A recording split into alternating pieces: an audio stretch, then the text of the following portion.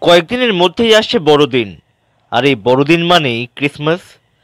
Christmas মানেই বাঙালির cake খাওয়া।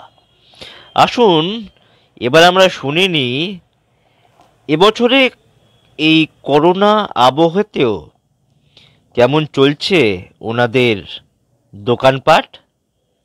কি বলছে আমোদ প্রিয় বাঙালিরা? টুকটাক টুকটাক করে অলওয়েজ বিক্রি চলেই যাচ্ছে। কখনো মানে ফাঁকা বাজার যাচ্ছে না, সে বসে যে বসে থাকতে হবে সেরকম কোনো ব্যাপার নেই। আসছেন লোকেরা, আসছেন, নিচ্ছেন, টুকটাক করে বিক্রি হচ্ছে, কোনো কোনো দিন ভালো হয়ে যাচ্ছে, কোনো কোনো দিন অল্প বিক্রি হচ্ছে, কিন্তু বিক্রি হচ্ছে। শীত পড়ে গেছে, কেকেরও দারুণ বিক্রি হচ্ছে।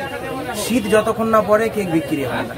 যেহেতু শীতটা পড়ে গেছে, যাকে ঠান্ডাটা পড়েছে ভালো কেকের সেল হচ্ছে আর ক্রিসমাস তো এখন শুধু যে খ্রিস্টানরাই কেক কিনবে তার তো কোনো মানে নেই। এটা কেকের মেলা চলে। দু চার দিন, দশ দিন কেকের মেলা চলে।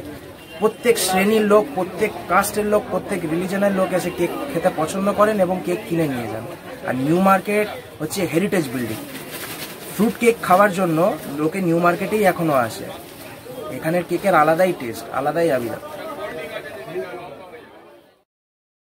নিউ মার্কেট থেকে প্রীতম মুখার্জির রিপোর্ট সারাদিন বাংলা টিভি কলকাতা।